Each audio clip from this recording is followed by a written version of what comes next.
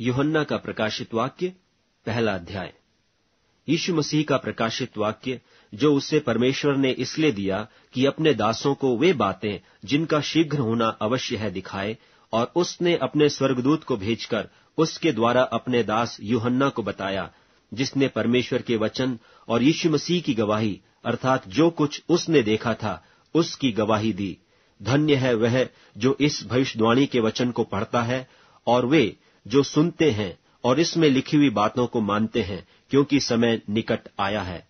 युहन्ना की ओर से आसिया की सात कलिसियाओं के नाम, उसकी ओर से जो है और जो था और जो आने वाला है, और उन सात आत्माओं की ओर से जो उसके सिंहासन के सामने हैं, और यीशु मसीह की ओर से जो विश्वास योग्य साक्षी और मरे हुओं में से जी उठने वालों में पहलौठा और पृथ्वी के राजाओं का हाकिम है तुम्हें अनुग्रह और शांति मिलती रहे,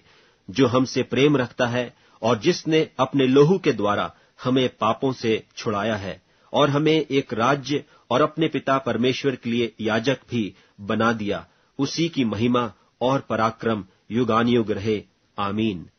देखो, वह बादलों के साथ आने वाला है और हर एक आँख उसे देखेगी, वरन जिन्होंने उसे बेधा था, वे भी उसे देखेंगे और पृथ्वी के सारे कुल उसके कारण छाती पीटेंगे। हाँ आमीन।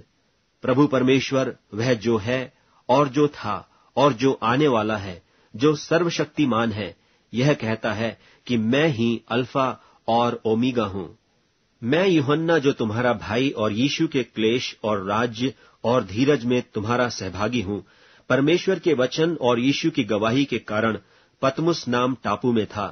कि मैं प्रभु के दिन आत्मा में आ गया और अपने पीछे तुरही का सा बड़ा शब्द यह कहते सुना कि जो कुछ तू देखता है, उसे पुस्तक में लिखकर सातों कलिसियाओं के पास भेज दे, अर्थात इफसुस और स्मरना और पिरगमुन और थुआतीरा और सरदीस और फिलदिल्फिया और लौदीकिया में, और मैंने उसे जो मुझसे बोल रहा था, देखने के लिए अपना मुँह फेरा और पीछे घूमकर मैंने सोने की सात दीवटें देखी। और उन दीवटों के बीच में मनुष्य के पुत्र सरीखा एक पुरुष को देखा, जो पाँव तक का वस्त्र पहने और छाती पर सुनहला पटुका बांधे हुए था। उसके सिर और बाल श्वेत, ऊन, बरन पाले के से उज्जवल थे, और उसकी आँखें आग की ज्वाला की नाई थीं, और उसके पाँव उत्तम पीतल के समान थे, जो मानो भट्टी में तपाए गए हों, और उसका शब्द बहुत जल के शब्द की नाई था, और वह अपने दाहिने हाथ में सात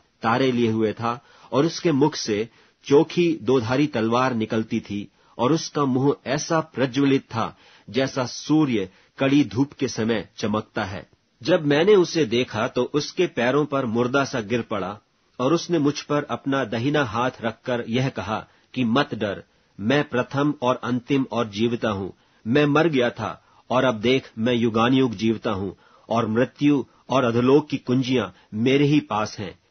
इसलिए जो बातें तूने देखी हैं और जो बातें हो रही हैं और जो इसके बाद होने वाली हैं, उन सबको लिख ले। अर्थात उन सात तारों का भेद, जिन्हें तूने मेरे दहिने हाथ में देखा था, और उन सात सोने की दीवटों का भेद। वे सात तारे, सातों कलिसियाओं के दूत हैं, और वे सात दीवट, सात कलिसियाएँ हैं।